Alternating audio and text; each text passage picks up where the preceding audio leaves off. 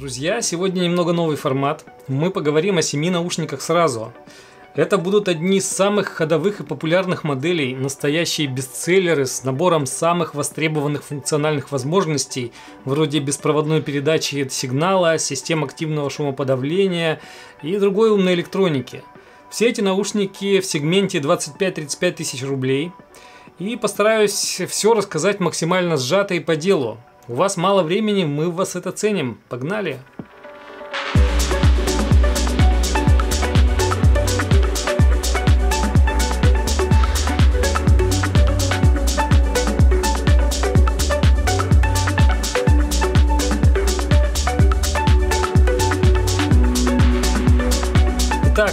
Нас здесь очень-очень классные наушники. Каждый из них действительно выдающиеся в чем-то. Большинство из них по-настоящему аудиофильские, ну кроме одних.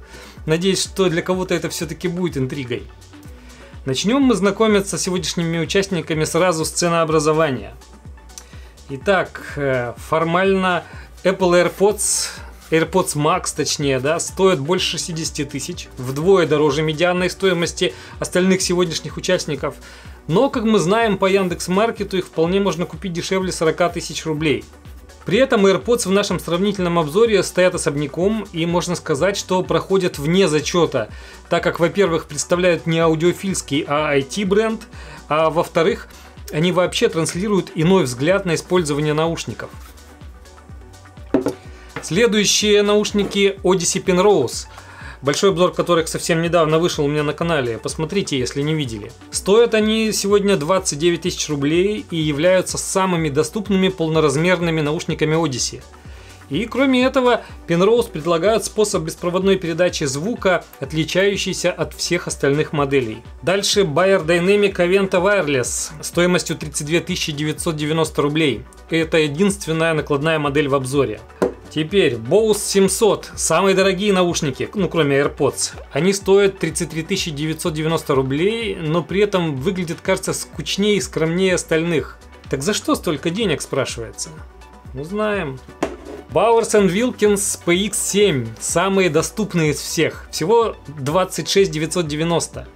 При этом они как раз наоборот выглядят интересно и даже вызывающе в каком-то роде. При этом они оснащены по полной и несут на своих чашках э, не менее, а то и более прославленный логотип. Дальше поехали. Дали IO 6. Первенец датской компании на поприще персонального аудио.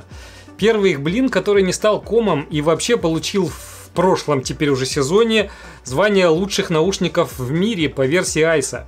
Стоят они сегодня 29 990. Ну и хит, друзья, Sony WH-1000XM4, да, кажется так называется. Без сомнения уже ставшие культовыми наушники, которые стоят сегодня 29 990. И сейчас я постараюсь разобраться, почему же их так любят люди.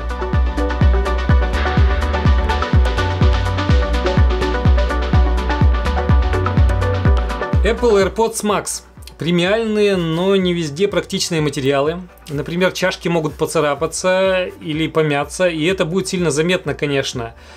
Плюс у меня есть подозрение насчет э, практичности и долговечности вот этой вот сеточки в оголовье. Плюс у них неудобное управляющее колесо, у него вообще нет сопротивления. И у наушников нет возможности подключиться к источнику по аналогу. AirPods самые навороченные в плане электроники из всех этих наушников. Э, абсолютно умный гаджет с кучей датчиков, микрофонов и всего прочего. И они умеют подключаться сразу к двум устройствам и автоматически переключаться между ними. Это, конечно, круто. Но при этом у них дурацкий бесполезный чехол, единственная роль которого не давать наушникам разряжаться. Odyssey Penrose.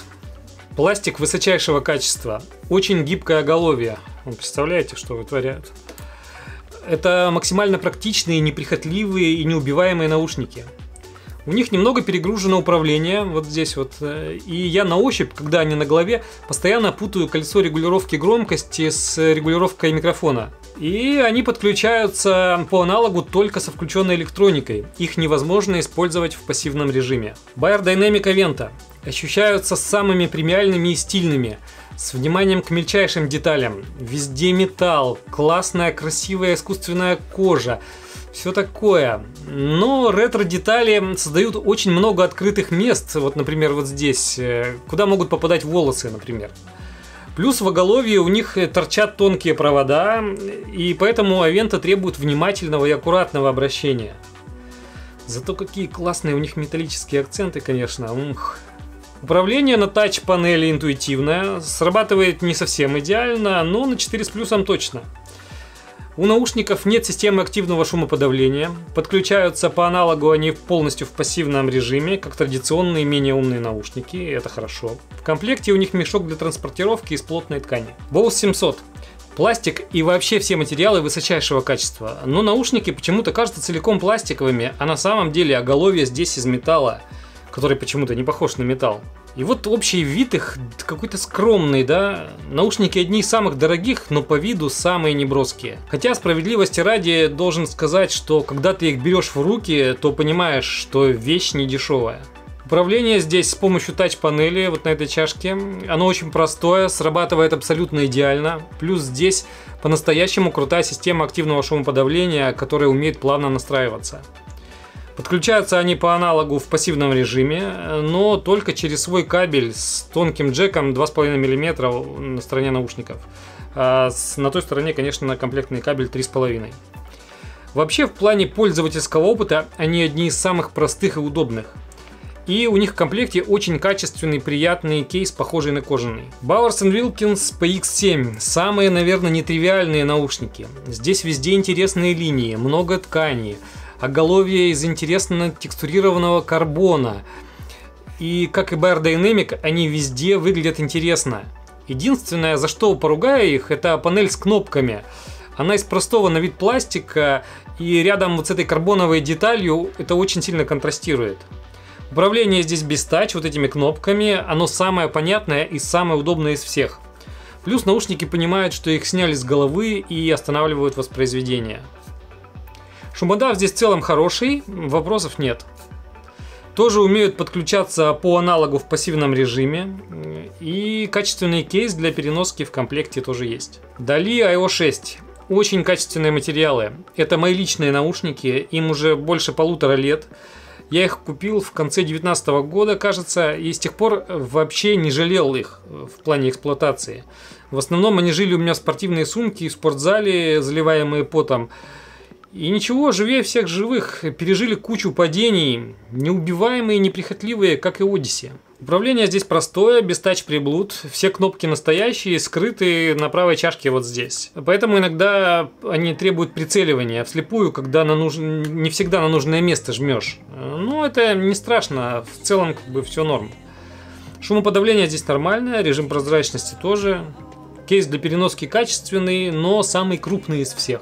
Sony Пластик очень качественный, и это единственные наушники, которые компактно складываются. То есть их можно вот, вот как-то вот так сложить. Управление с тач-панели вот на этой стороне, оно просто прекрасное. Тоже понимают, что их сняли с головы и останавливают воспроизведение. Умеют подключаться сразу к двум устройствам. Шумодав, естественно, прекрасный, и у него есть адаптивный режим, который сам подстраивается под текущую обстановку. Ну и вообще по конструкции к ним совершенно нет никаких вопросов. Компактный и качественный чехол в комплекте само собой тоже есть.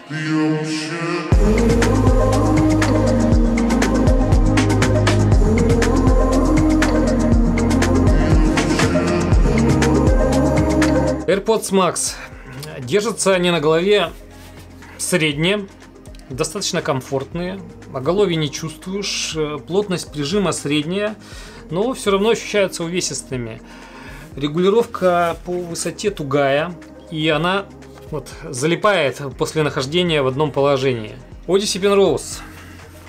Уверенная, крепкая, плотная посадка, прижим чашек выше среднего, но вес не ощущается. Регулировка посадки довольно плотная, особенно плотное вращение чашек. То есть вот они их нужно на голове уже настраивать. Но в целом довольно комфортные в долгом ношении. Байеры. Посадка у них средняя, все-таки форм-фактор другой. Но они ощущаются абсолютно легкими, комфортными. Оголовье чувствуется слегка, но совсем едва. Прижим чашек немного выше среднего, но они могут давить на уши из-за форм-фактора. Комфортность посадки зависит от того, как ты их надел, в какое вот место на уши они попали. Регулировка по высоте у них ступенчатая и довольно неудобная. когда наушники на голове, поэтому их нужно регулировать заранее. Вот, постоянно проскакивают. Но на самом деле свои настройки запомнить легко по количеству насечек на вот этой подвижной части оголовья. Bose 700. Посадка у них очень уверенная. Они комфортные и легкие, оголовья почти не чувствуешь. Идеальнейший прижим чашек. Регулировки посадки бесступенчатая, легкая, интуитивная и вообще абсолютно лучшая среди всех. Смотрите сами, вот они сейчас э, не настроены. Они моментально садятся на голову в идеальное положение и не напоминают о себе часами. Просто супер. Бауэрсы. Они на самом деле ощущаются легкими, но оголовье чувствуешь немножко. Прижим чашек средний. Регулировка посадки бесступенчатая и довольно тугая. Ну вот, плотненько они так ходят. Но в целом на голове регулировать их удобно. Раз и все. И долго в них находиться вполне можно. Кстати, когда они полежали, ты их берешь, одеваешь на голову, и они автоматически подключаются к твоему последнему устройству, о чем сообщают голосом, естественно. Дали. Их посадка уверенная, они ощущаются легкими и оголовье почти не чувствуется. Режим чашек оптимальный, а вот регулировка посадки у них хоть и бесступенчатая, но, как и у Бауэрсов, довольно тугая. Хотя вслепую все настраивается без проблем. Sony. Посадка их максимально комфортная, на уровне Bose, но чуть более расслабленно сидят, ощущаются абсолютно невесомыми, а головье и прижим чашек вообще не чувствуешь. Регулировка посадки тоже отличная, практически на уровне Bose. Тоже эталон в этом плане. Прекрасно сидят. You dug a hole,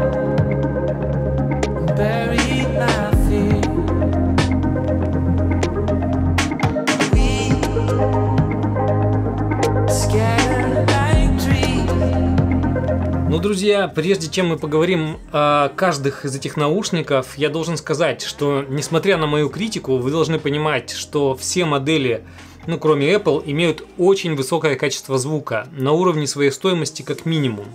Поэтому держите в голове какую-то условную качественную планку наушников за 30 тысяч, относительно которой все эти модели держатся более чем уверенно. Про конкретную музыку я сегодня говорить не буду, чтобы не усложнять повествование, но в описании вы найдете ссылку на интересный плейлист, который мне и помогал сравнивать звучание всего вот этого. Ну а сейчас мы пойдем снизу вверх от аутсайдеров к лидеру. Как вы понимаете, на седьмом месте у нас Apple AirPods Max. Самые худшие в плане звука наушники. Он совершенно не соответствует уровню остальных и не достигает той условной планки звука за 30 тысяч. Я бы сказал, что они классно звучат э, для наушников, ну, за 10-12 тысяч, но не выше. AirPods стараются быть выразительными, но все портит низкое качество проработки. Большинство звуков синтетические, не вызывают никакого вовлечения. Полная скукота. Ну, они у нас вне зачета, так что ладно. На шестом месте Bose 700. Самые скучные по характеру наушники. Они звучат ровно так, как и выглядят. Вроде бы ничего плохо не делают, э, но и ничего не цепляет. И даже эквалайзер в их родном приложении не в силах как-то поменять ситуацию. Они просто становятся громче в задранной части диапазона и все. Ну, они просто нормально звучат и больше ничего. Хотелось бы сказать, что на свои деньги звучат. Но все эти остальные конкуренты дешевле Bose, и я совершенно не нашел того, чтобы на них звучало лучше, чем в остальных наушниках, к сожалению. Пятое место. Sony. Они стараются быть нейтральными и понятными по звуку, и в целом им это очень хорошо удается. Мне вообще не за что их поругать. Но есть одна придирка с моей стороны. Большинство из конкурентов в чем-то ярче и интереснее по звуку, ну кроме Bose. Sony никак не проявляют характер, соблюдая нейтралитет во всем, и за это их можно любить. Однако их басу, на мой вкус, э, не хватает собранности. Немного расслабленный он на мой вкус. Мне хочется низы сочнее, быстрее и прозрачнее. Зато вот середина и высокие у них просто супер и детальность, и баланс между мягкостью и резкостью у этих наушников просто отличный. Плюс в теории они могут давать самый качественный по цифрам беспроводной звук с параметрами 32 бита 96 кГц благодаря кодеку LDAC, да, фирменному. Но проблема в том, что вам потребуется и соответствующий источник с его поддержкой. Четвертое место. Dali IO 6. Они сочетают в себе понемногу от каждых. Здесь есть и драйвовый низ, и нейтральнейшая середина, и чистые, едва подчеркнутые высокие с такой небольшой искринкой. Эти наушники умеют играть почти все одинаково хорошо. Такие хорошие, очень веселые живчики по звуку. В общем. Nice. Третье место, друзья. Байеры. Очень аудиофильские наушники с максимально открытым светлым звуком, супер прозрачные с акцентированными верхами, но из-за этого многим будет не хватать низов как раз. Зато у Авента есть потрясающее ощущение прозрачности любой фонограммы. На мой вкус, это очень красивый, страшно вовлекающий тебя звук с вкуснейшим легким подчеркиванием на верхах. Но из-за этого и быстро утомляющий меня, к сожалению. Полчаса дикого восторга и удовольствия, но затем усталость, к сожалению. Второе место. Бауэрсы. Самые сочные и окрашенные наушники. Вкусны до безобразия. Низ драйвовейший и сочнейший. Очень мощный и объемный. Середина здесь на месте, она понятная и достаточно открытая, вверх аккуратно выверенный, без остроты. Звук со своим характером, подходящий для большинства современных жанров и при этом не утомляющий тебя в длинных сессиях. Единственное, я бы басов все-таки предпочел немного поменьше. Хотя думаю, что как раз тут большинство покупателей со мной в этом не согласятся. Качают они, будь здоров. Первое место, друзья. Odyssey Penrose. Они самые нейтральные, ровные и максимально честные наушники из всех. Слышно много в любой части спектра, как и у Bayer Dynamic, но при этом подача их совершенно неутомительна, и их можно слушать часами. И, как я уже сказал, они идеально сбалансированы, ровнее некуда, и при этом здесь есть достатки все. От глубокого плотного баса до искрящихся верхов. Очень аудиофильский звук, к которому я не могу придраться. На них отлично звучит любая музыка и хорошо чувствуется качество фонограммы. Главное подключаться через идущий в комплекте трансмиттер.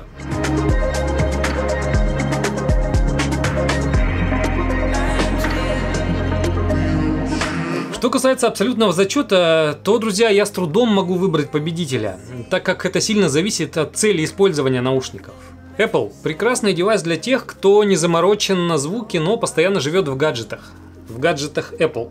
Odyssey – идеальный гаджет для тех, кто много времени проводит за компом и за приставкой, и у кого в доме есть люди, кто может неосторожно обращаться с ними, например, дети – и при этом Penrose остаются очень интересными для тех, кто сильно заморочен на звуке. Bayer Dynamic э, подойдут для стиляк и аудиофилов в самом хардкорном смысле. Для тех, кто хочет слышать мельчайшие детали и тонкости фонограммы на ходу и готов смириться с тем, что дольше пары часов их на голове держать сложно. Если вы хотите иметь классные премиальные наушники, которые будут радовать глаз и при этом будете использовать их недолго, ну, например, до работы доехать, то это прямо то, что надо. Боус. Для любителей без особых запросов в плане аудиофилии, но ценящих удобство и комфорт в первую очередь, и кому нужно долго находиться в наушниках. Для тех, кто много путешествует, например. Бауэрсы подойдут тем, кому нужны классные стильные наушники, которые будут качать и поднимать настроение. Дали подойдут вообще всем, Особенно тем, кто не умеет быть аккуратным, кому нужны наушники, которые будут уметь выживать сами и неизменно классно звучать. Единственное, что, ну, крупные чашки у них, конечно, они вот такие, да, ощущаются. Но в остальном прекрасные универсальные наушники. Sony. Идеальные наушники для любых ситуаций и сценариев использования. Их можно слушать и с аудиофильским сетапом, и с компьютером, и брать с собой в дорогу. Именно потому, что они подходят для всех ситуаций, они такие популярные.